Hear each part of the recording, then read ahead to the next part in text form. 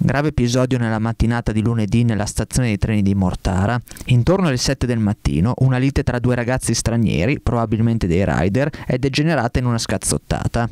A farne le spese, un 25enne colpito da un pugno al volto, che nell'occasione ha perso molto sangue visibile a terra nel corridoio, che consente di passare da piazza Marconi fino alla banchina del primo binario. Per cause ancora da accertare, ancora al vaglio dei carabinieri di Vigevano intervenuti sul posto, i due ragazzi ragazzi coinvolti nella lite hanno iniziato a discutere tra di loro fino a mettersi le mani addosso.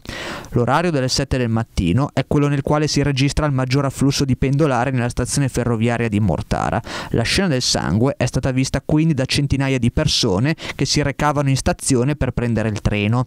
Per i soccorsi sul posto è giunta un'ambulanza della Croce Azzurra che ha poi trasportato il ragazzo ferito in codice verde all'ospedale civile di Vigevano.